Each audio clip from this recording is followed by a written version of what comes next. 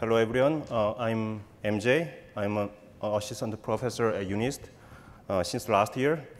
Uh, today, I'm going to talk about our characterizing study of GPU cluster designed for deep learning training workload in Microsoft. This work was done when I was in Microsoft along with the co-authors Shivaram, Amar, Junjie, Wencong, and Fan. Deep learning-based technology has been widely applied in many domains, such as speech recognition, image classification, and recommendations. With the popularity of those applications, more and more deep learning models should be trained.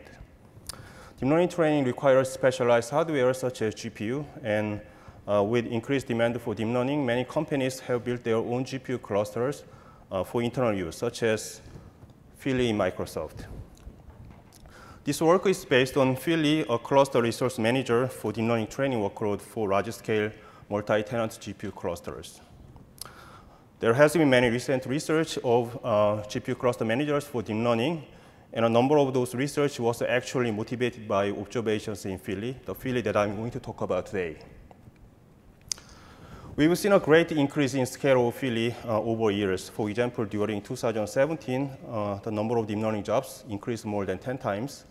And also the size of cluster increased by five times.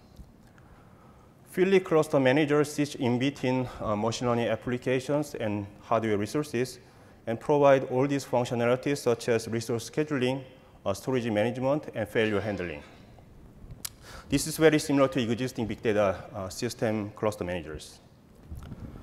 Now let's start uh, by describing the job lifecycle in Philly. Uh, users are submitting their training jobs in online fashion and spe specify the number of GPUs for training.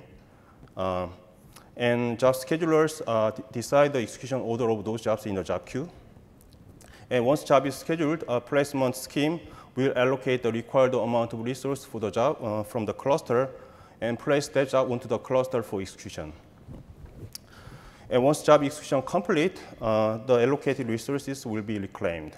And this is overall how job lifecycle in Philly looks like.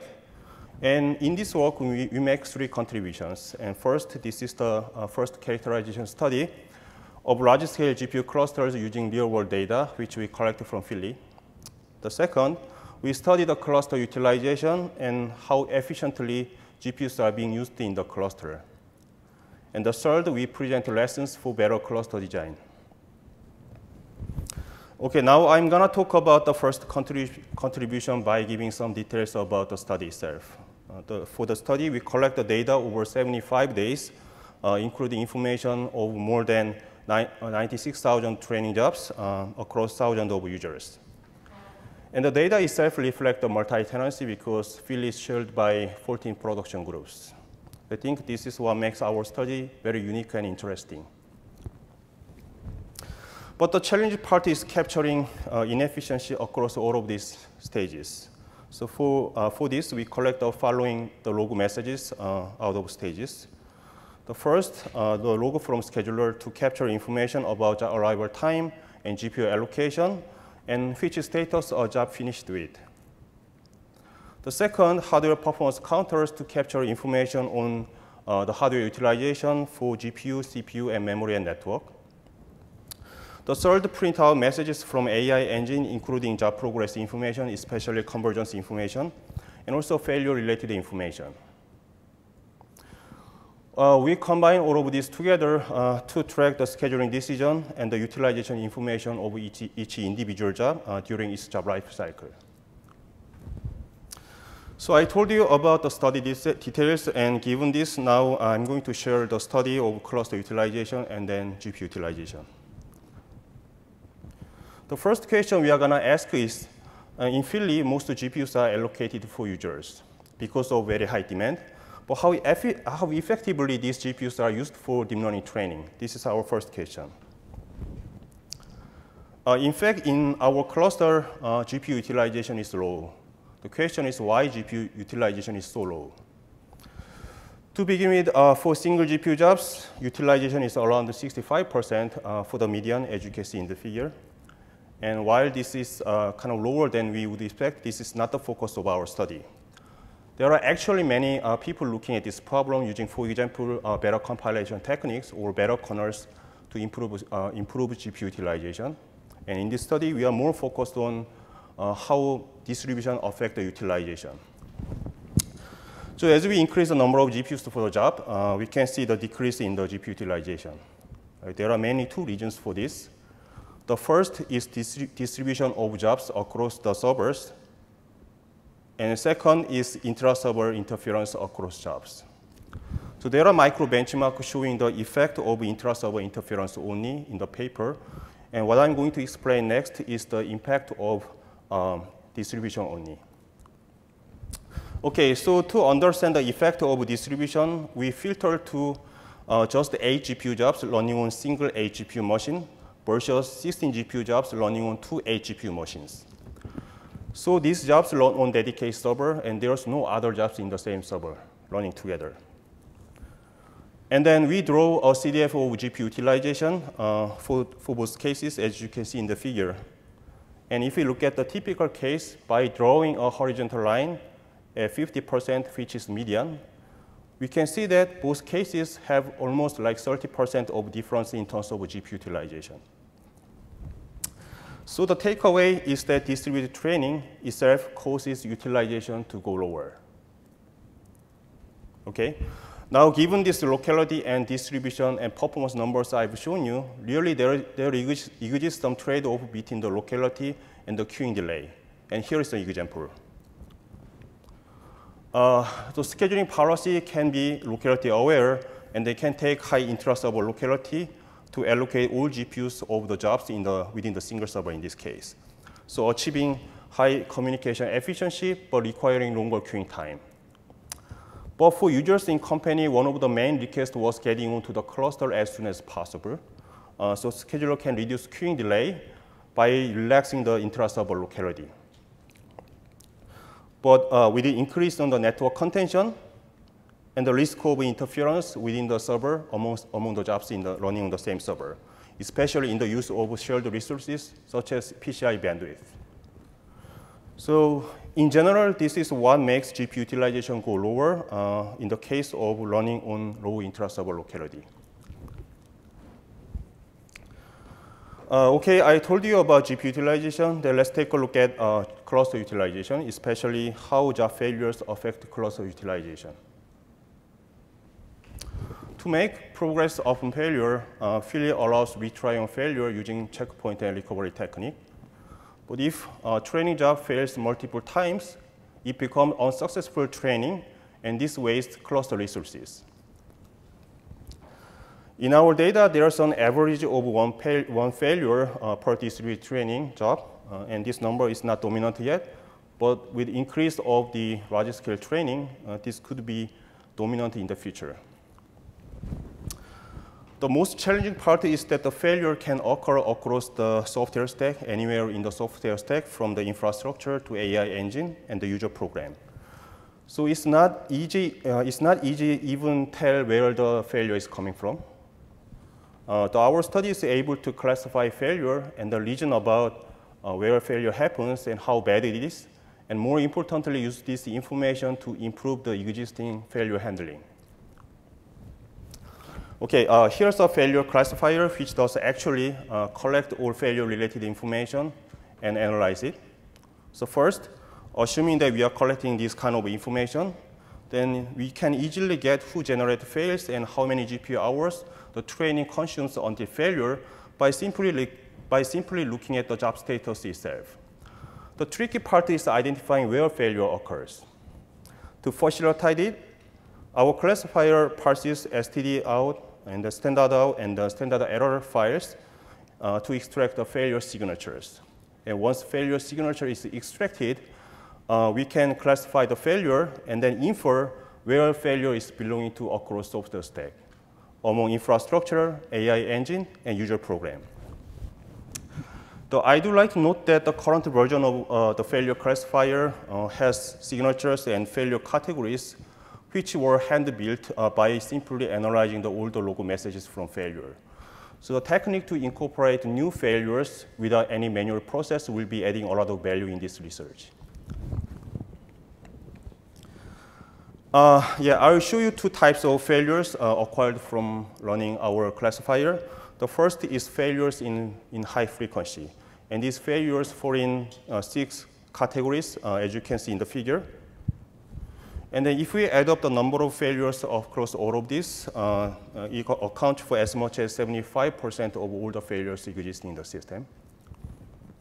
Uh, and in our data, we observed that region is mostly because of user errors in code and, and, and the configuration. So we found most of these failures uh, are repetitive and appearing early. And then the second type of failure is failures in uh, the high resource usage, which, which we measure from the GPU hours spent by the failed job. And then these failures are kind of falling into the four categories, as you can see in the figure. And if we add up the amount of GPU hours spent by all fail, failed jobs across these categories, uh, it accounts, accounts for as much as 73% of all the, all the GPU hours spent by the failed job. And in our data, we observed that the reason is mostly because of infrastructure failures. And we found that most of these failures uh, spread across many layers of system stack, including uh, the storage and communication and network stack. Okay, then I'm going to present very interesting lessons that we, we learned from this study. The first, locality versus waiting time. The users, of course, prefer uh, lower queuing delays, but initial delays in locality-aware scheduling can far outweigh giving up locality for especially long-running jobs. So to, to, make this point concrete, let me take two examples. The, uh, first, you submit a long-running job, and it takes around 24 hours to complete. But if you wait for one hour for very higher locality, then it is going to take only 16 hours to complete. Then here, initial delay is one hour, or not zero minute. So it looks like very awful amount of time which was not pre preferred by the users. But if you think about the overall running time, it's one hour plus, uh, 16 hours, so 17 hours, which is much lower than the 24 hours. So uh, we think to get better locality packing, scheduler need to consider the, local, uh, the trade-off between the queuing delays and the impact of the locality-aware scheduling. And this local, locality-aware scheduling should be applicable to only long-time learning jobs, not exploratory jobs, which might be uh, short learning or might, may be killed by the users. The second, uh, at the very beginning, it's very hard to know uh, whether the job is long running or not. So the effective or simple, very effective technique is that you start from the low locality, and then later on do migration if you, if you identify that you know, this job is long running. Okay, uh, for failures that are repetitive and uh, the repeating, uh, the, the kind of uh, repetitive, uh, in this case, we can, you can improve the cluster utilization by catching those failures early. So for example, uh, simple validation of jobs before going into the scheduling, especially the pre-running those jobs on the very cheap VMs or cheap servers, uh, can avoid a majority of those failures. In our, in our case, as much as 42% uh, of all the failures in our workload then the consequence is that we can avoid, uh, avoid the GPUs even being placed on the, on, the, on the cluster, thereby improving the cluster utilization.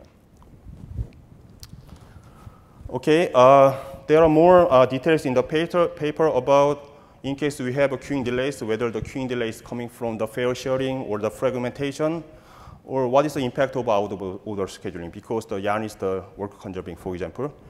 And then uh, how to mitigate failures at runtime. And then more importantly, the last thing is very interesting, uh, is the effectiveness of last epochs. Like in case of the, we have to pay some resources for the last epochs, how, how they are contributing uh, the convergence.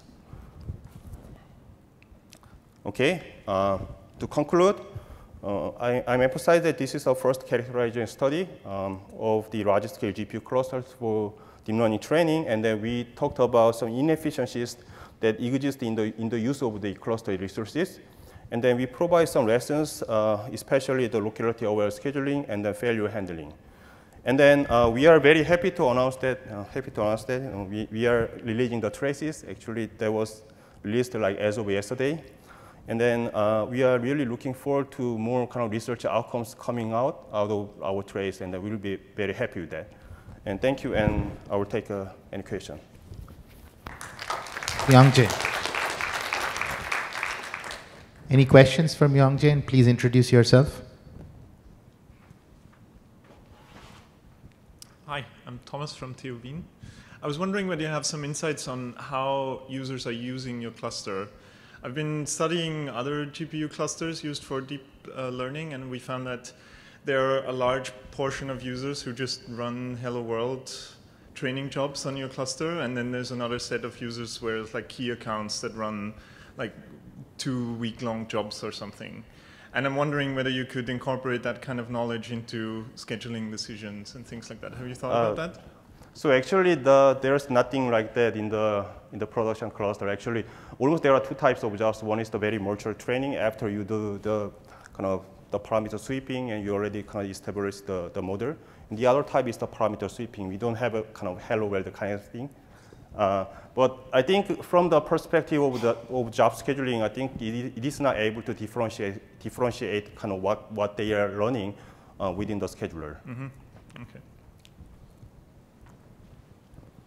Hi, Chen from Uber. So my question is, uh, when we observe really large-scale distributed machine learning, especially deep learning, we saw a clear benefit of rack affinity uh-huh. And uh -huh. for uh, the, the topic you talk about, failures, generally we find like disaffinity is a, is a kind of way to go to kind of mi minimize the risk.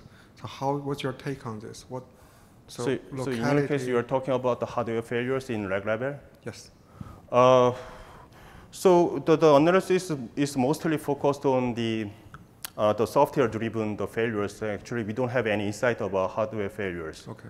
Um, I, I, don't. I'm sorry, I don't have a like nice nice answer about that. Okay. Yeah. Thank you. Hi, I'm James Davis from Virginia Tech. Uh, I have a mercenary question, uh, which is, does Microsoft make money either way? Uh, so they, I think they are making money uh, by deploying this into the Azure. Well, so I guess my question is like, if a user submits a job that fails, do they still have to pay Microsoft? Um, so, so, uh, so, so, uh, so, is, is, so um, I, don't know if I have to tell this or not, but you know, uh, so I, I, mentioned that this is the multi, multi-tenant cluster mm -hmm. and then shared by multiple production groups, meaning that the multiple production groups, they have their own quota uh, Uh, in terms of the fair sharing. So of course, you know, depending on the money or some contribution, they have their quota. So virtually they have some, they are paying some value on it. Okay, thank you. So we have a couple minutes left. So I have, I have one question. So you showed that the utilization for these clusters is not very high. Yeah. Right? And this is consistent with other studies that have done utilization of non-GPU clusters as well in data centers. The utilization is quite low. Now, NVIDIA and others are creating software which will make it easier for multiple jobs to share one GPU card. Do you anticipate that this is going to become mainstream? And if so, if that's going to have any, make any difference to the utilization numbers that you showed? Yeah, I'm pretty sure that will be a part of mainstream pretty soon because the, the multi kind of the sharing the one GPU among jobs is kind of matured, it's being matured these days. Uh, then the remaining task, in my view, is that you know how to incorporate that into the scheduling policy in the cluster. Now, the way we are scheduling the GPUs is very monolithic, like either the one GPU or zero. But in case we are enabling the sharing, we have to have some mechanism to, to make kind of one GPU to be able to share it by multiple jobs. But I think that's really coming. Thank you. Uh, let's thank Myeongjae once again.